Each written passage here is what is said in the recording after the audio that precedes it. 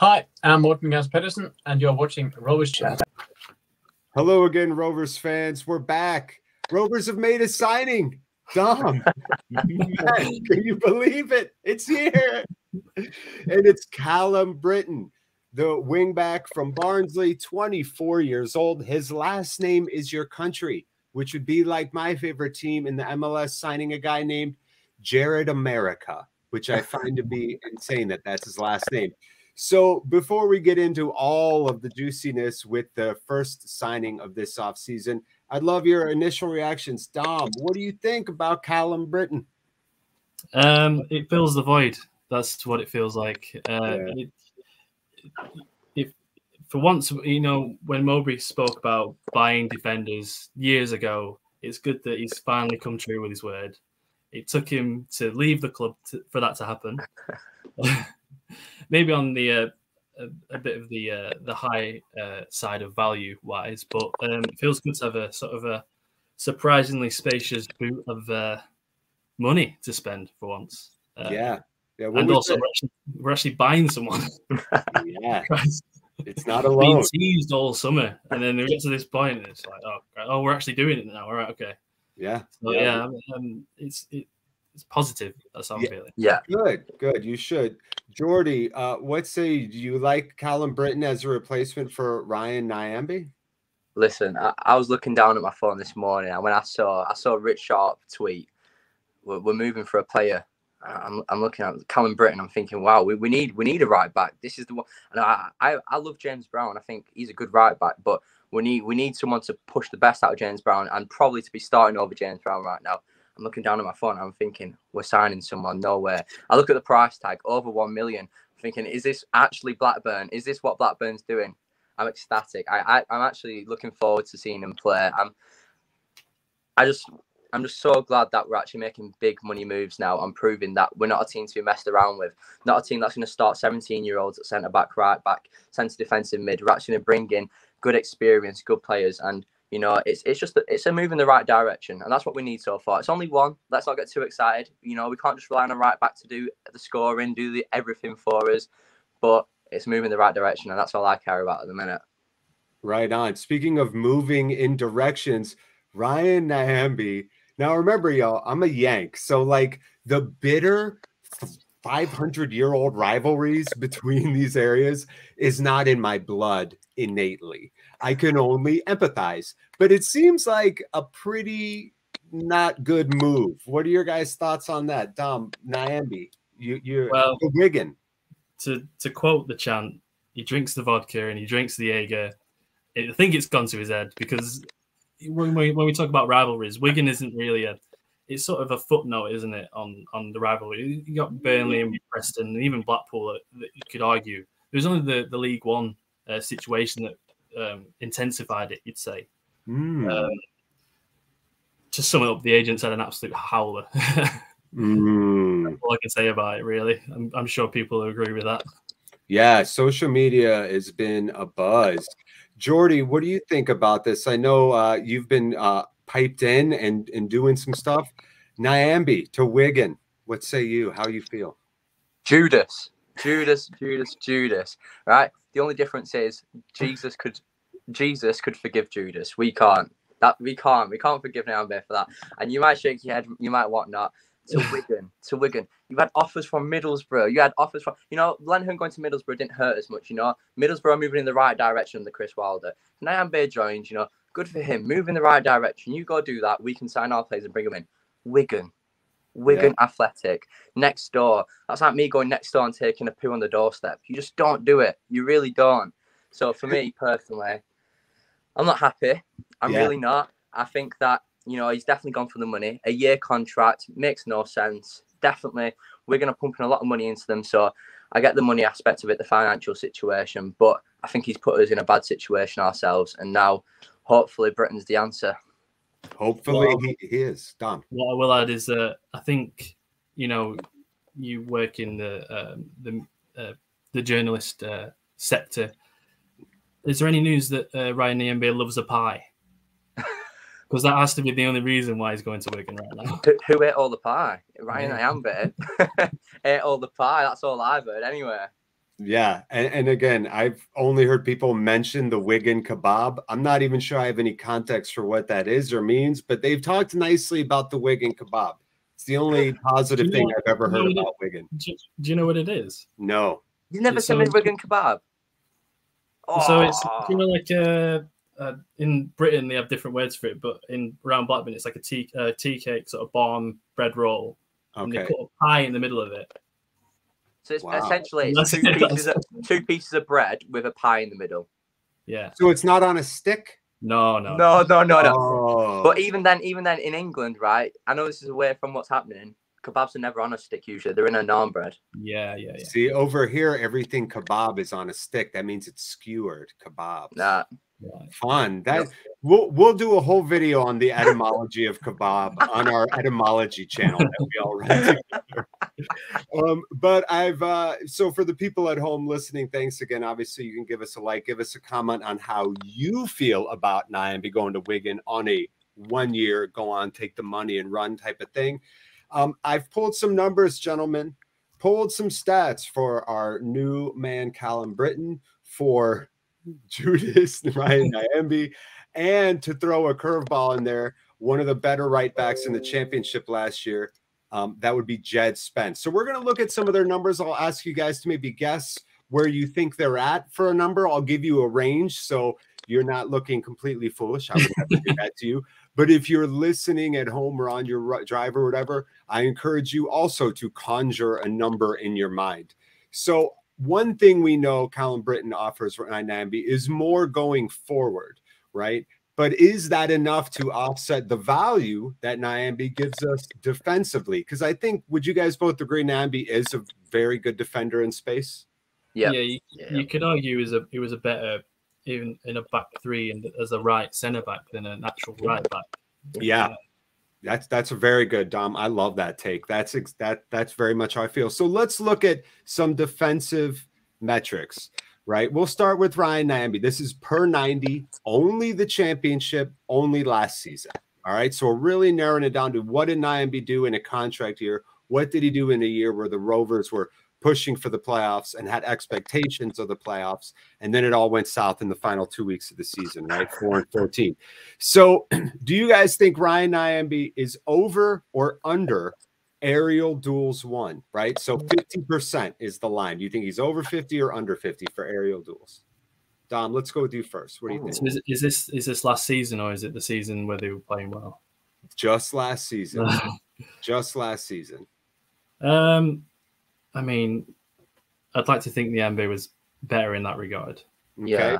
Jordy, you're going to take the Yeah, over. yeah, yeah, yeah, yeah, yeah. Great. You're Definitely. both correct, but barely 50.4%.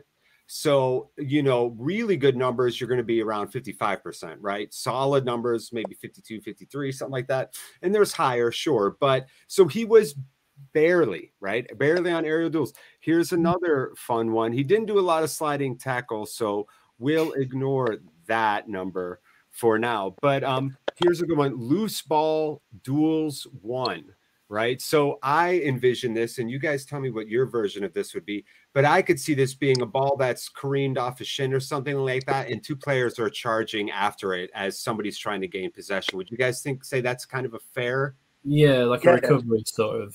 Yeah. Okay. Yeah. Yeah. All right. So what do you guys think? Loose balls, duels one, over under fifty percent. I, I, I'm gonna say under. Mm-hmm. Good. Dom. Larry? Uh, I think. yeah. I think his his best attribute was his uh, recovery because of how explosive he was. So I'd want to say higher, but yeah. right. Right. you winning it. I'm not. I'm going to say higher then. Yeah, yeah. You know, and that's what I would think too. But actually, it's 41.3%. 41.3, which you would think would be higher. His Yeah. recoveries in an opponent's half, Dom, to not have you feel like you were off base. He had about six per 90, which is 23%. So you're asking yourself, well, is that good or bad? Jed Spence was at six at 33%, and Callum Brittain Let's find his recoveries up here. Boom. Uh 7.5 at 33%. So their their recoveries in opponent's half, both of them, a full 10% higher than Nyambe. That kind of blows my mind. Yeah. That's, yeah.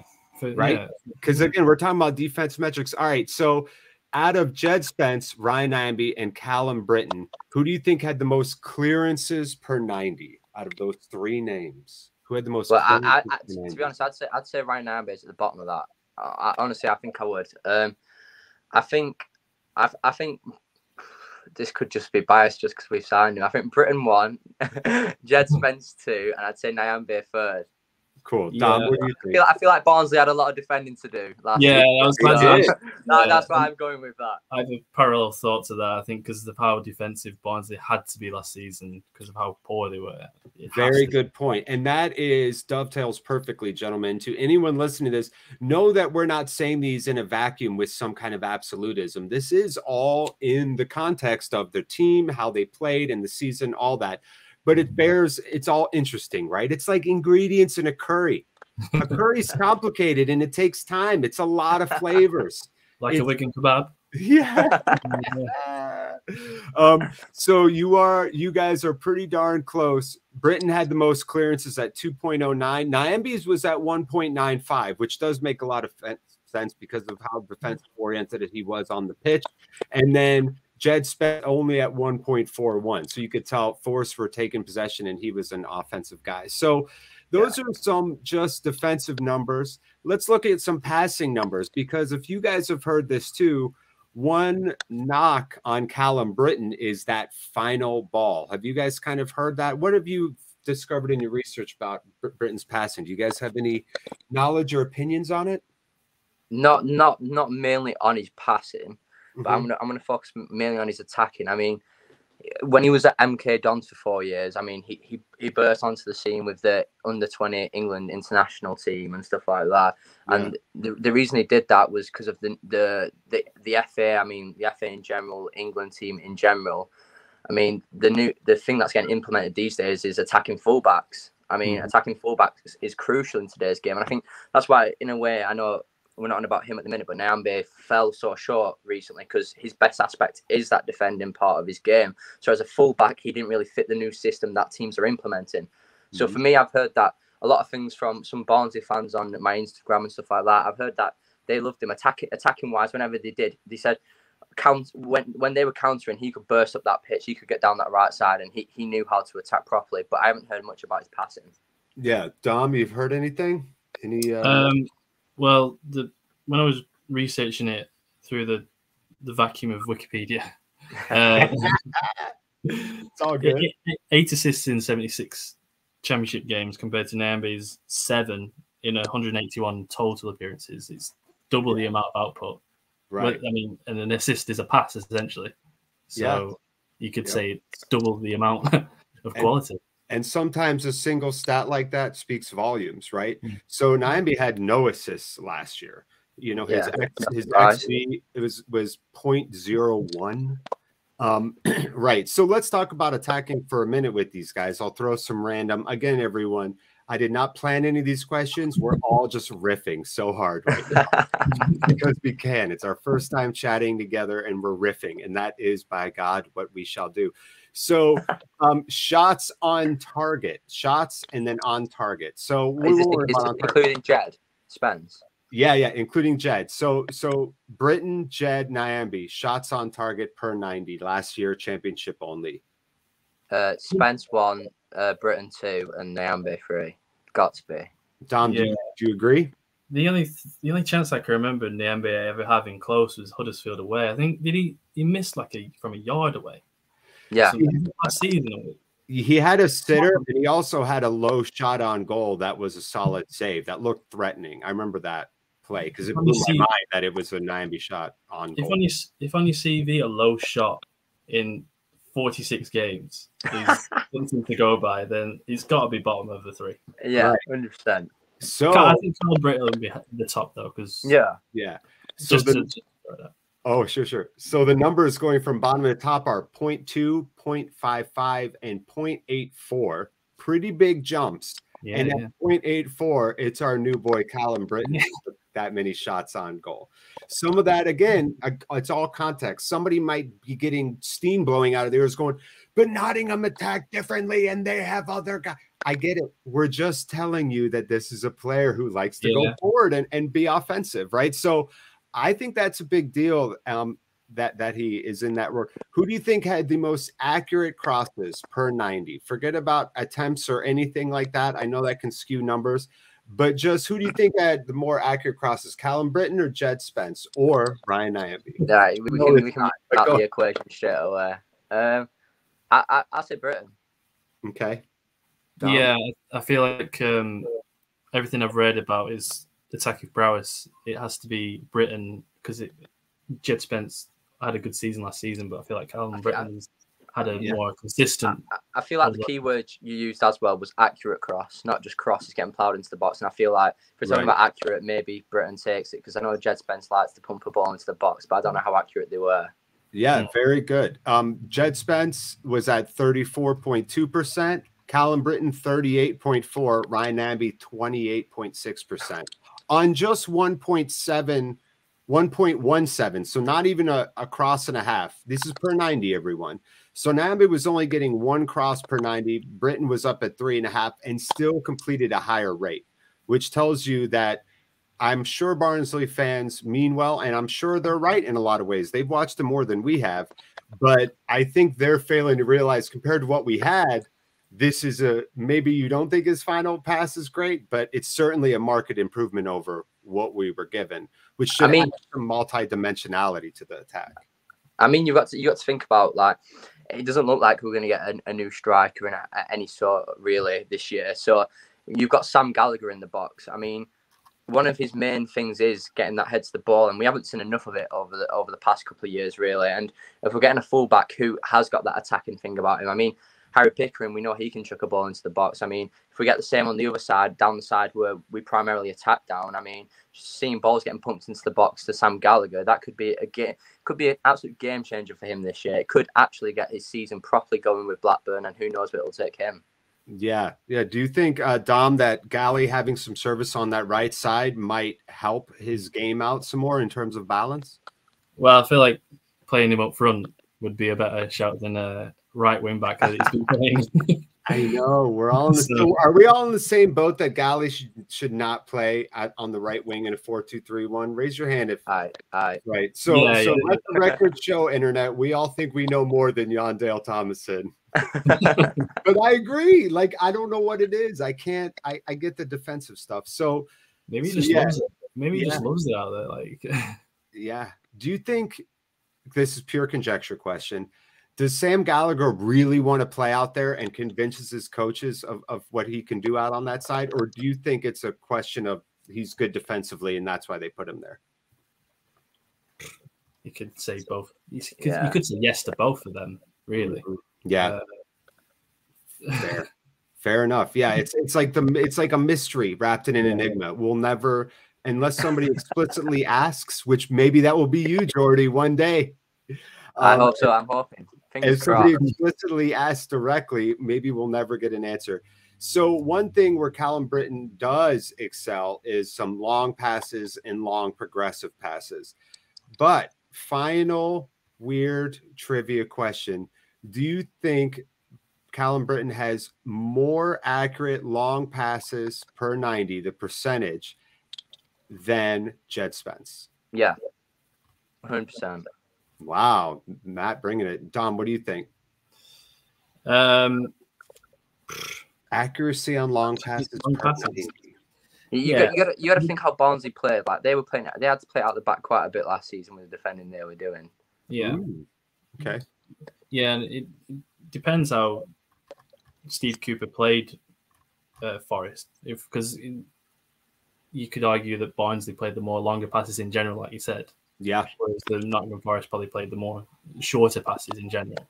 So I'd, I'd, I'd probably agree with that. I'd say Callum Brittain was top. Brilliant. See, I'm giving an ambiguous question, and you all are naturally filling in the context or context with your bright young brains, which is brilliant. You're right. It is all about style, and Forest had more of the ball. They weren't playing as long. Jed was at three long passes per 90 at 38%. Brittain at 6.2 at 42.9%. So that's still a, I think that's a really high number That's Um, not only passes, but percentage wise, Nyambe 1.5 at 29.5%.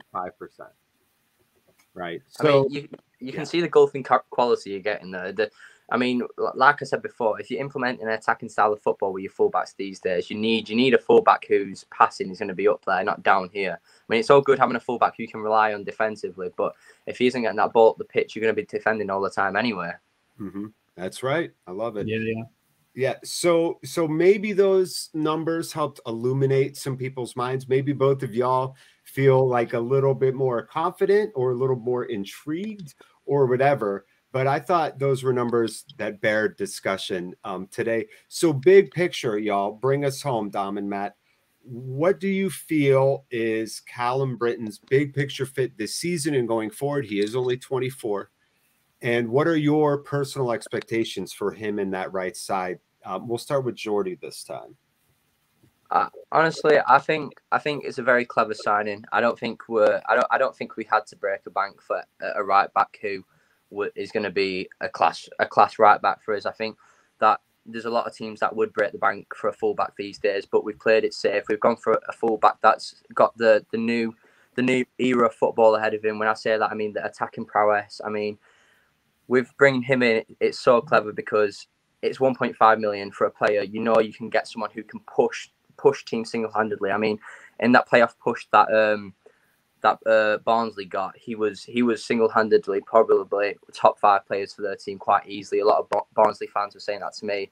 So I think for 1.5 million, it's a real bargain. It's an improvement, like we said there. I mean, defensively, we might see a bit of moments where we think we'd rather have Nyambe there because he wouldn't have let that slip. But at the same time, I think he'll make up for that whilst pushing up the pitch. And I think, like I was saying before, Gallagher, Diaz, they'll be getting good reception from that right hand side, which is weird because it all came from the left, really. So we'll see. And I think maybe Tyrhys Dolan's got a good partnership there, knowing that he's going to get a good pass down that line. He can attack with it. He doesn't have to worry. And I, I, th- I think it's there's nothing bad about this signing. I don't think you can pinpoint one bad thing about it. I think it's a good replacement. It's solid, and I think that he'll shine under Jon Dahl Tomasson's tactics as well. Nice, man. Dom, how you feeling, bro? I was just uh, listening in awe. Then I was, um, yeah. I mean, to reiterate what you said, like when you're saying it all came down the left last season, we got we got Pickering as a new signing last um, season, and the expectations should be the same with uh, Callum Brittain, no matter how much money we spend on him, because it comes from a player from essentially League One, like what Pickering was from Crewe.